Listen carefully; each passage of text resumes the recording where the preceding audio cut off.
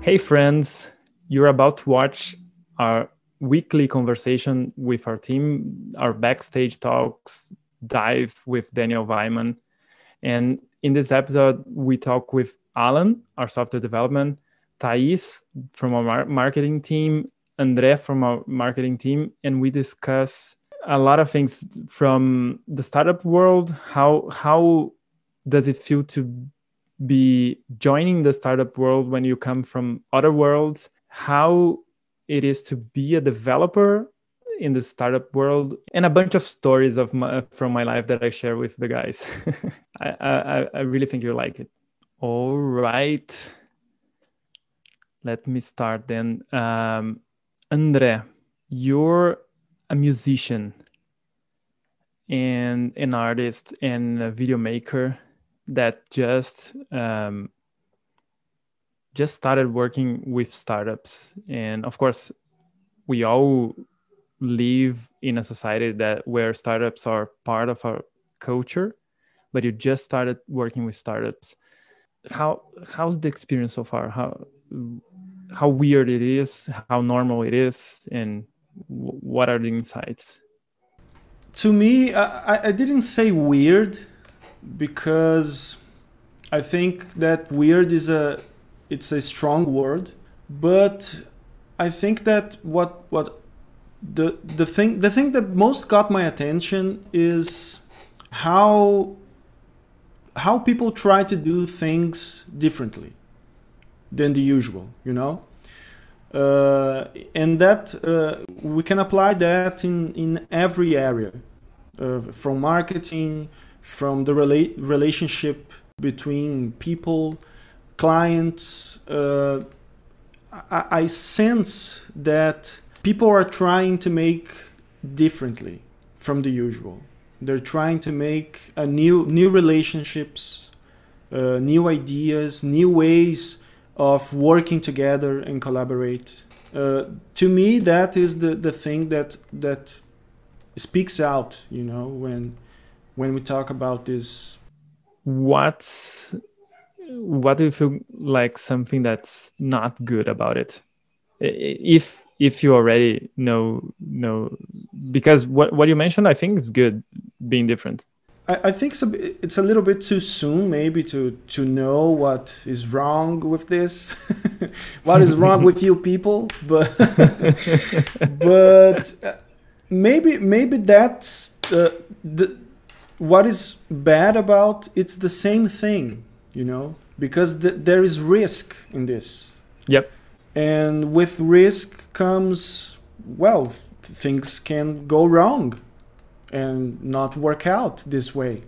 And the old way and the conventional way m- maybe sometimes will work better than the, this new way that we don't know about. So yeah maybe it's the same thing. The good and the bad thing it's that you're trying to make something different something new. And it's very common that that uh, people want to do something different just for the sake of doing something different or or worse for the hype of it for making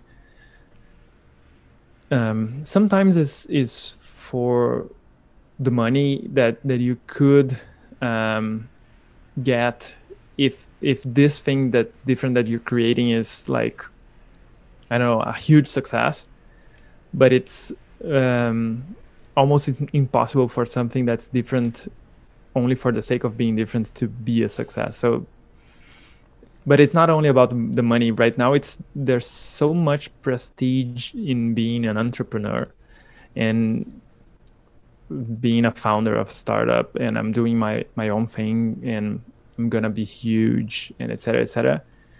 that you end up sometimes creating things you could as very well create something that's not that different but makes makes a difference and you end up creating something that's i don't know wildly creative but useless if if if you're not doing it for the right reasons, right? Yeah, uh, now that you mention it, uh, uh, I'm saying this completely, uh, but I feel this. Okay, I, I don't know the I don't know the market so well, but I have this feeling. Maybe maybe it's a little biased. My opinion's a little biased, but I think that maybe the, the maybe the, the, the startup market uh, are are starting to attract people that don't want to make things different and only people that I want to make money. Yep. This is the way to make money. This is the Yep. new way to make money. And I, I don't know if that's true, but I have this feeling that That's we're true. living this this right now and well it's kind of a bummer because i think that there are great people that really trying to make difference and create something to help people like some projects that i hear you talk about. And it, it blows my mind. I'm not a business person. And i and it it um, it makes me believe in something wow this can make a huge difference in people's lives you know?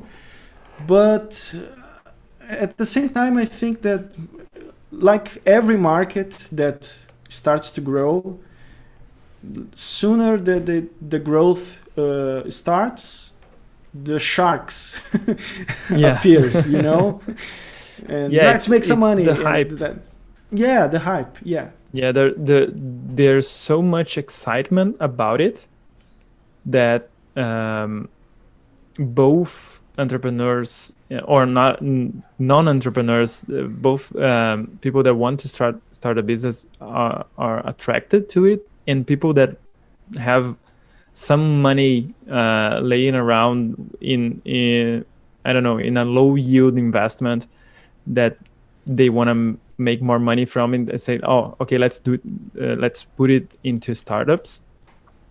And then yeah it, it starts to grow and and i don't know if we we're living a bubble or something like that today but it definitely has some of the elements of past bubbles.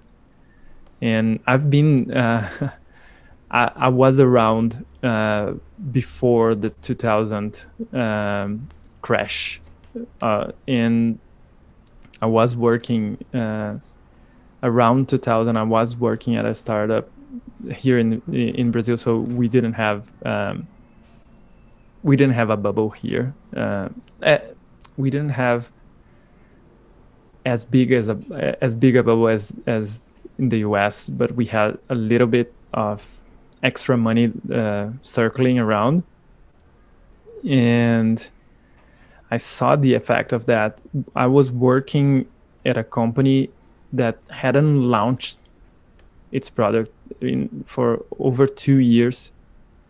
And there was um, literally um, an investment group uh, venture capital firm here in brazil that was talking about acquiring that company. And we hadn't done much, right? uh, we hadn't almost nothing, uh, uh, uh, to be clear, and and we were in Brazil, so yeah imagine the hype.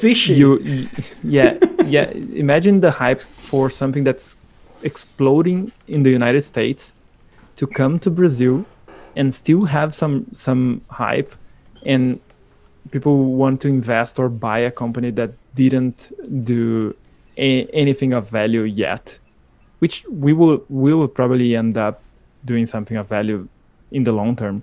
I'm not saying we're we're doing the wrong things or something that that wasn't um, promising but it was too early.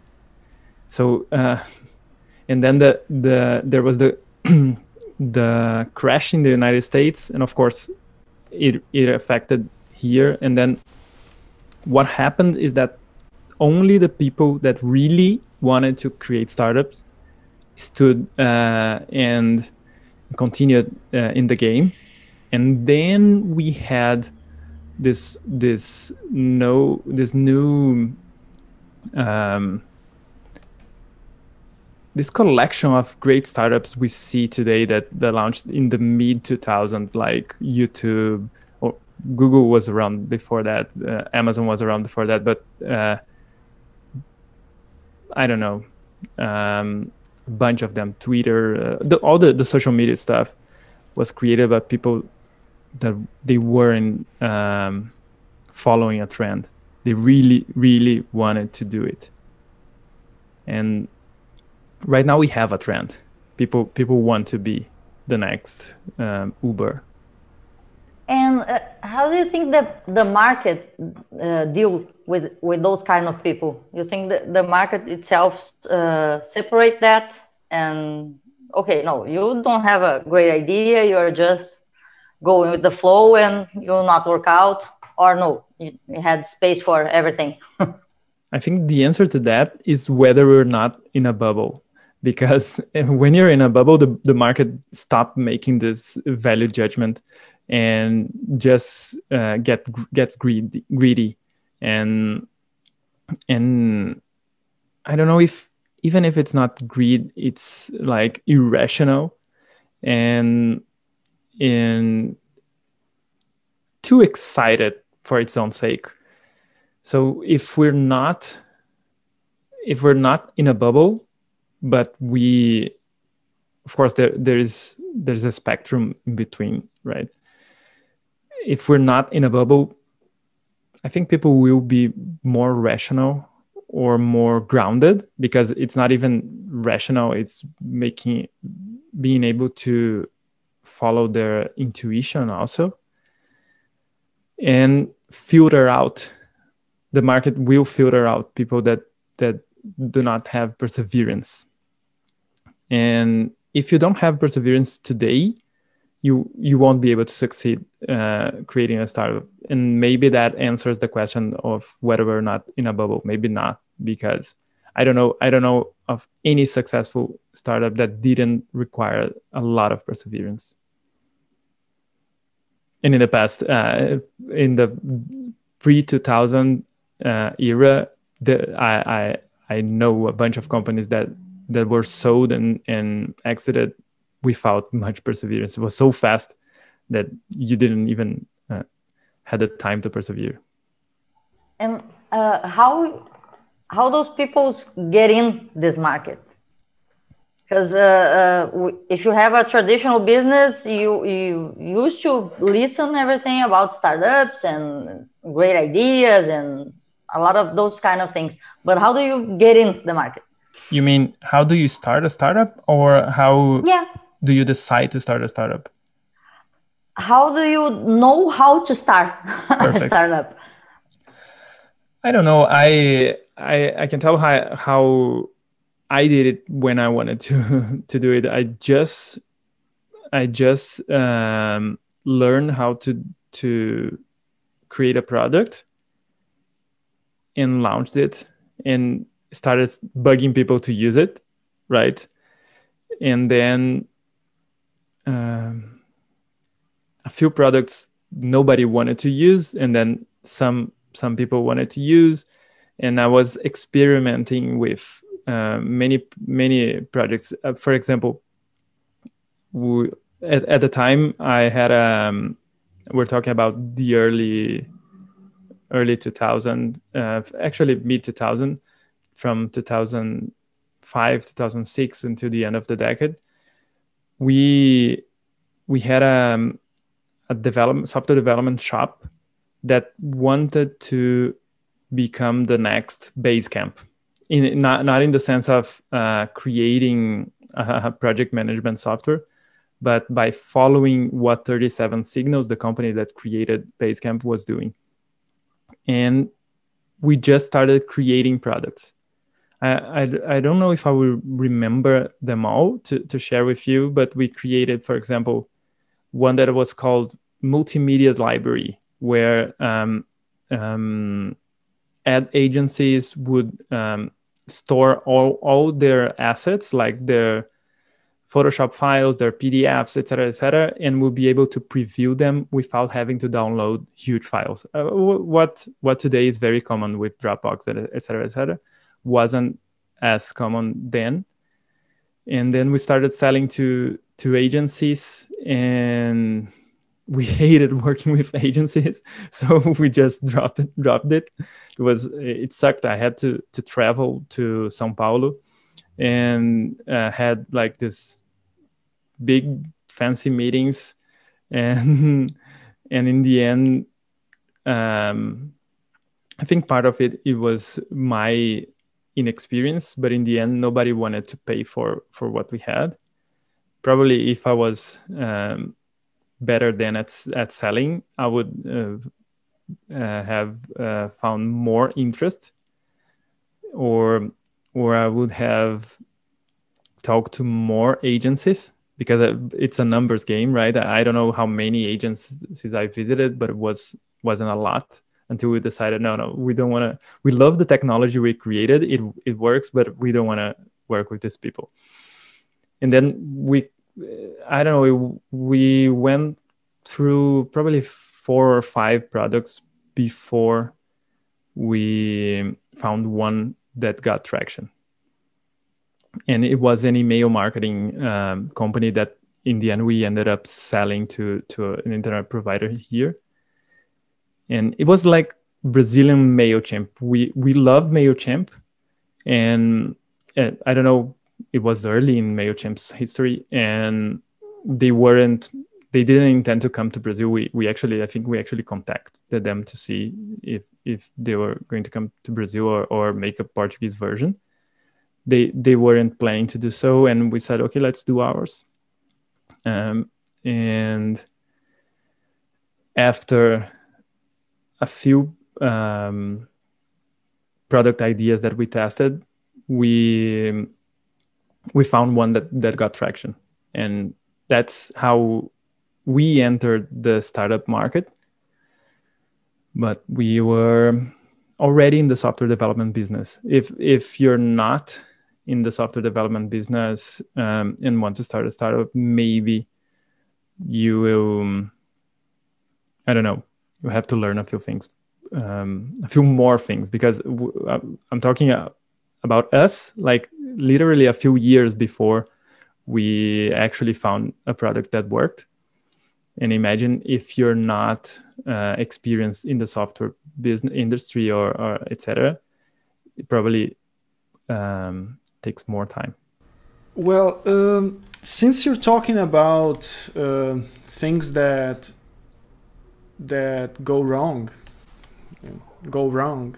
Uh, yeah, yeah. In the, in the early days, I want to ask you about something that um, in in the next meet in the the earlier the the previous meeting that we talked uh, you talk about the relationship with clients and how you try to to make things equal and not try to to, to be it. condescending to them and etc. Yeah.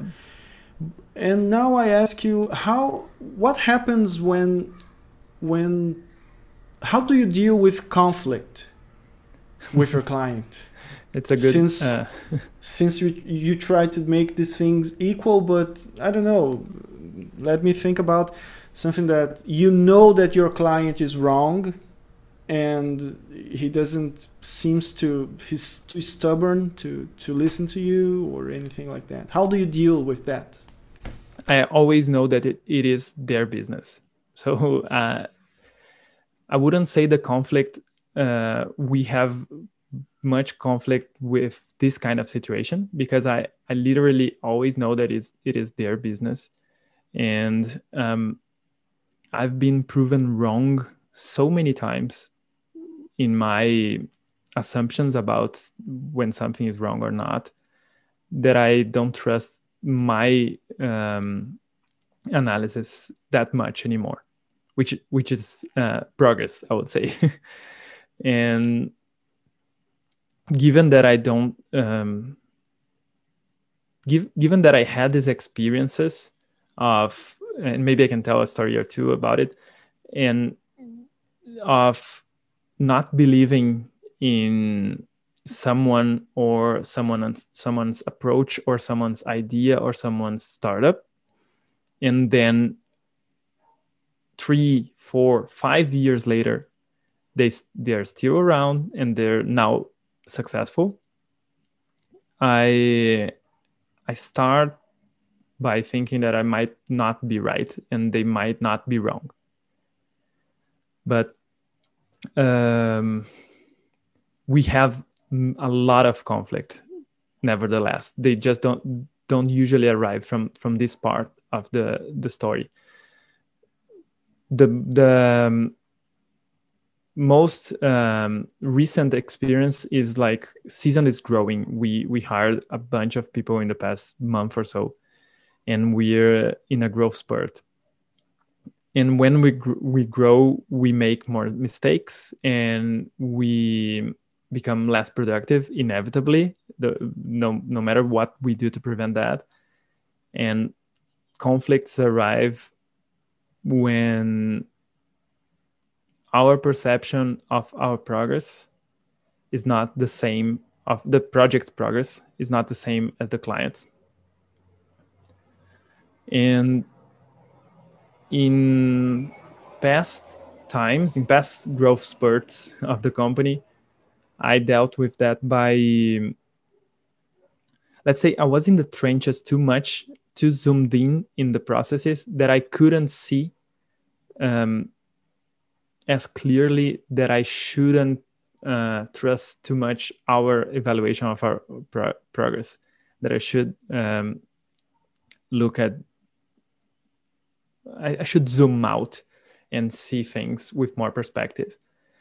At this moment, I'm trying to stay 100% zoomed out at all times, which which is what a CEO of a growing company should do, and or at least alternate and zooming in and then very quickly zooming out again, zooming in very quickly, zooming out again, and I think we're actually been able to achieve that. Uh, I've been uh, for the past couple of weeks. Uh, my the thing that I've been saying is that I've been apologizing in meetings at least once a day, which is I'm sorry we we couldn't um, achieve the goals we were setting out to do, and we here's how we are addressing it. We are changing this and that very specific very transparently.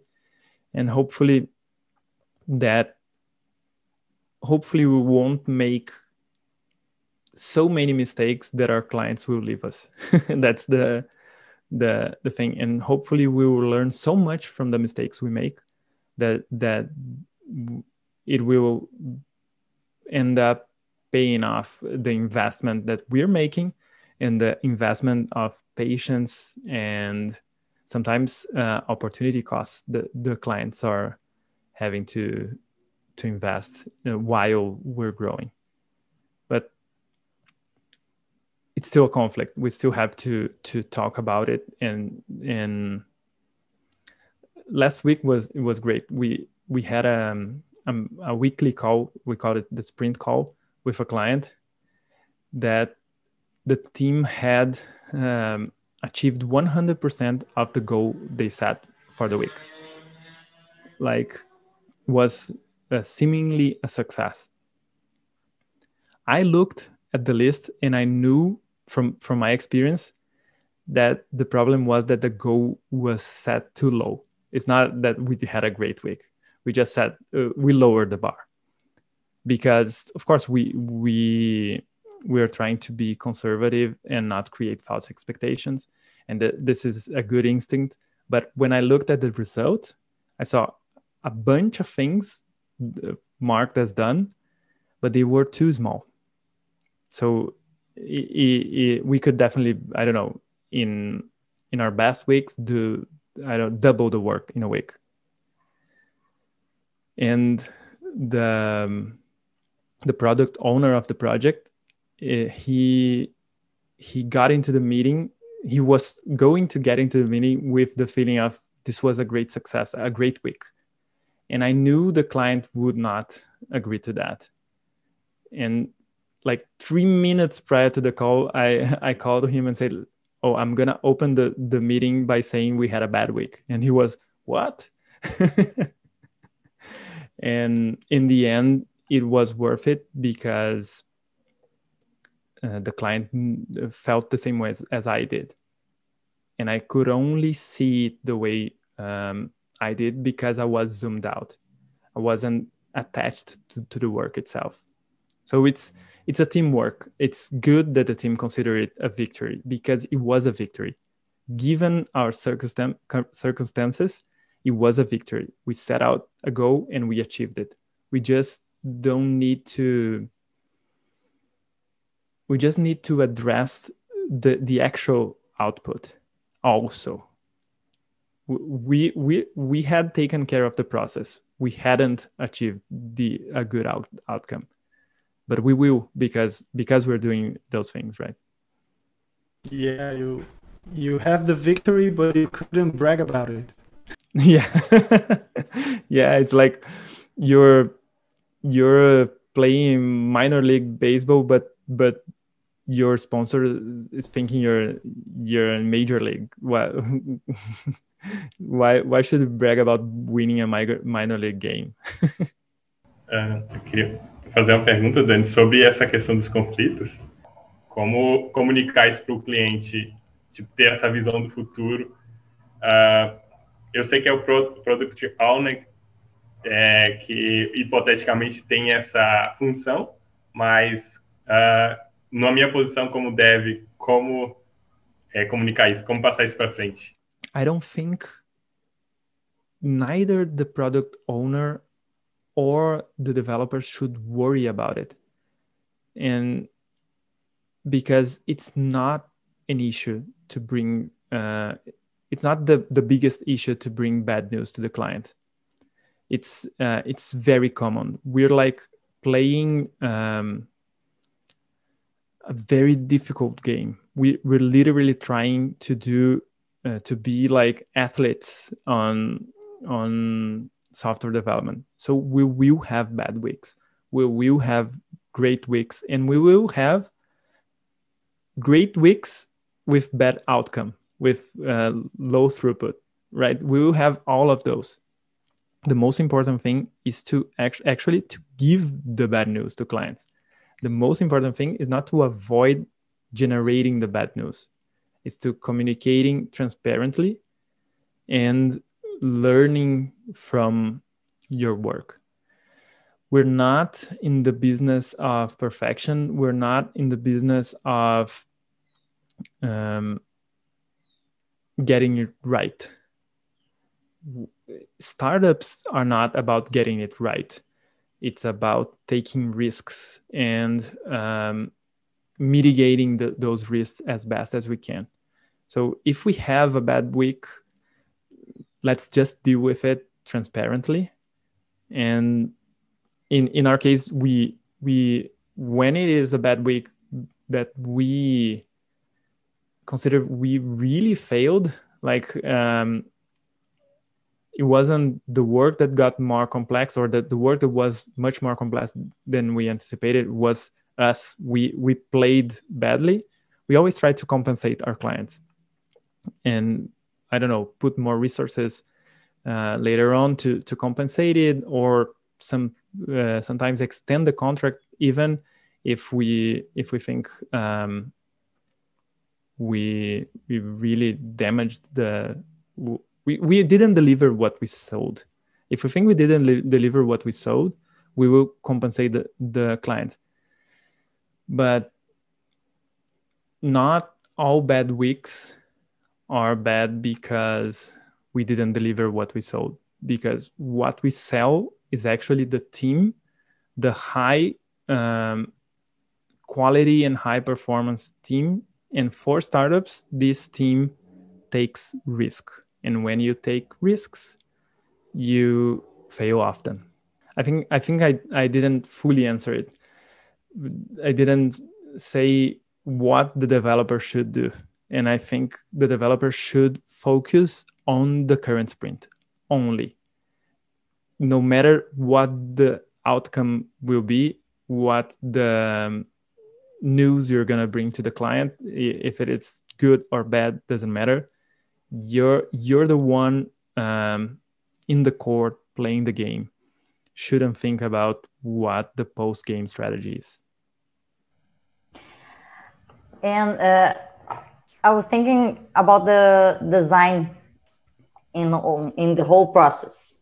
Uh, uh, we didn't see much them particip- participating in all dev shops, uh, at, at, least in, not in the whole process. And it seems to me that at Seasoned uh, we saw this uh, like the first thing that you guys uh, I don't know put in up in the package.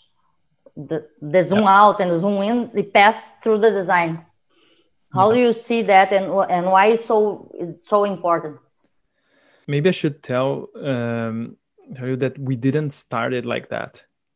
We started um, without designers in the team because the ideal way of really starting small with a startup is to have one person that does it all. Like one person that does a bit of design but uh, codes well and and i think i i developed my skill sets like this I, I since, since i wanted to create my own startups and i and i did and i didn't want to wait for a designer to give me that design that or pay or, wait or, or or i couldn't pay a designer to to do it so I had to ask my friends, and my friends would do it on their free time, and then I would have to wait. I didn't want to wait, so I learned how to do it myself. Of course, I'm not a good designer, but I'm a good enough designer. Like I, I did all the first versions uh, of the logos of my startups, my companies, and uh, I don't know if all, but many of the many of them, and um, they were crappy. the design were, was terrible, but it worked. It worked. And when when we started Seasoned, I wanted to replicate that. So we would be like the team that would do it um, with as little, as few people as possible, as much as a startup needed. So we started without designers. But then two things, uh, I, I think three things happened.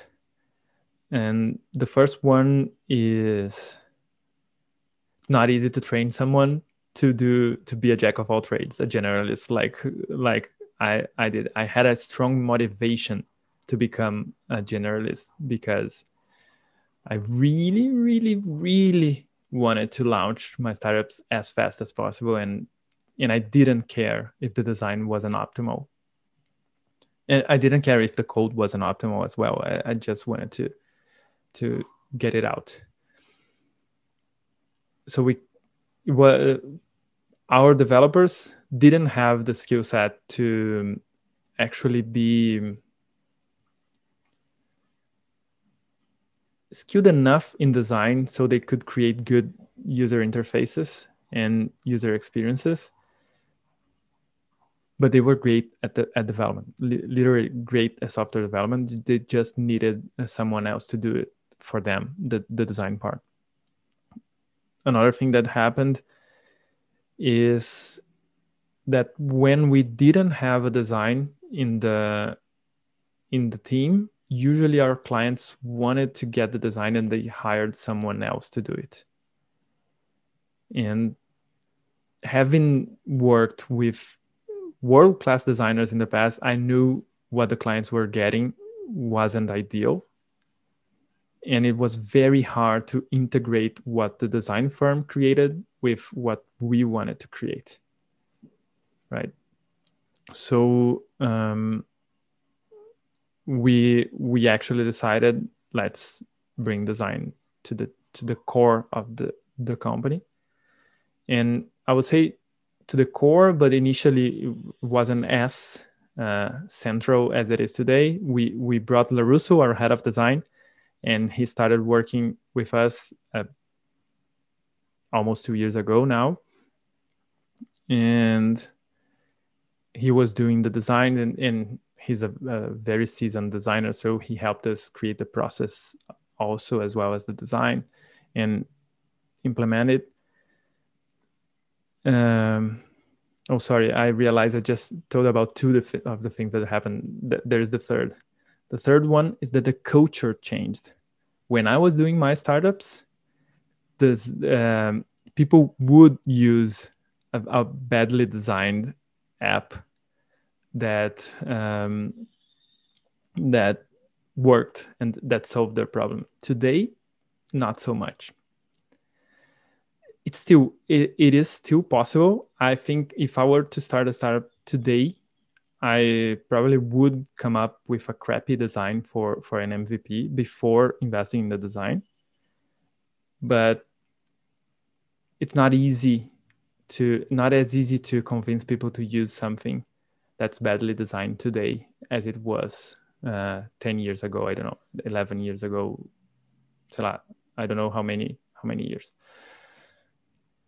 and then we brought up design to the team and it's only it i wouldn't even say that now it's central enough. I think we need to make it more of of um, put it at the center of the pro- process process actually.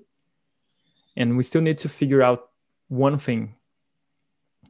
In order for us to put it at the center we need to invest more in design but our market even though it values design it considers it necessary our clients they are the thing that they value the most is the development. So when we sell design right now, the the way we sell it right now, people are not as willing to pay for design as they are for software development. So we need to to either become better at selling design, which uh, I wouldn't say either, probably both. We need to become better at selling design. And for that i think we we need to to become better at design also. And we need to be so efficient in the software development part that it pays for the design sometimes and the design will help the software development process become so efficient that it, it will pay for itself even without us um, selling the design or increasing the price for that. Did I answer your question? yeah, because uh, it, it's uh, it's different from. Uh, I just get in the, this this kind of business and, and inside this kind of uh, of company. So uh, it, it's funny that for me it, it seems like the the design part um, accelerate the goals and the achievements of development Yep. When when it goes together, when it's not two separate things, like you said before, you you hire a company for design and you have the the developments here, and then you have to put these two things together, and uh, it, it's it's a double work. And when you you got the two things going together, you you optimize. Just to be clear, it's much more than double the work. When when you have design and development as separate entities, it's much more than double the work because the designers will come up with something that's hard to implement isn't that is it is it right alan yeah the designers will come up with something that's hard to implement and then the developers will say oh this is hard to implement and then the, the person in the middle usually is the founder the non-technical founder right? And the, the non-technical founder in the middle will say oh but if this is hard to to implement let me go back to the designer and ask them to change it. And then they say but you already paid me for this. You need to pay me more for me to change this and it will take an extra week. And then every every back and forth you have will cost you a lot. So um, even though we didn't start it like that but but it was naivete i think it was because we thought we wouldn't need designers and not that the clients would bring external designers. Uh, the best way to approach product design, like um, software design in the terms of uh, user experience and user interface, should uh, be part of the same team as the development developers. Yeah, but I guess it, uh, it has a lot of what you say before. Uh, the also the, the people that didn't ask for a, a bunch of design. Uh, uh, yeah, they they they are starting to once we had a, a very well designed website, people started valuing us as designers because, of course, right. and the problem is um, not the problem the scenario is you're a non-technical founder looking to launch your product. You already uh, researched researched how to create you already probably created your logo using a designer or or something else. You saw that it, it is easy to find designers right? All right it, it's easy to find designers. It's cheaper to hire designers than than development. So you think okay i got this covered. I i i don't need to worry about design because i know i, I could just go to i don't know 99 designs or other um, fancier design um, tech uh, marketplace. And now i need the developers. Or uh, in many cases you already even have the what you think is the design for your app ready. Now you need the developers. And so our client is usually not looking for design or looking for designers they are looking for software developers. And they they come to us um, the um, this these are the least experienced clients because the, the ones that have more experience will know they need the design to be integrated. But they, they will come to us and say okay you you do the design and and um, and the coding also but i already have the design. How can you give me a discount because because we we don't need the design. This is not um, this is becoming less and less common after word got out and and word of mouth uh, start telling people that they they should work with us. They will not be um, as concerned. But it's very common to for someone that that does not know the value of what we bring to the table to ask for this how how much how much without the design like and then we'll say no no without the design is actually more expensive. We'll charge you more. Without the design. You're not paying and the what i say today is that you're not paying for the design. The designers we we added because we needed we need them. But we're if you if you even if you calculate the price only considering the development you're going to see we're charging you for development development and um, the designers the architects the product owners, which are the the rest of our, our team structure, are like a bonus you get. And that's um, that's been working.